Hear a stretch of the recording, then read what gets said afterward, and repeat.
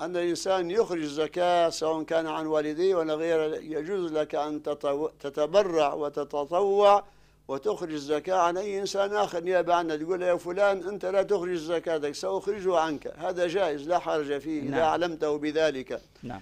لكن أن تخرج الزكاة عنه ثم تردها عليه فهذا غير جائز.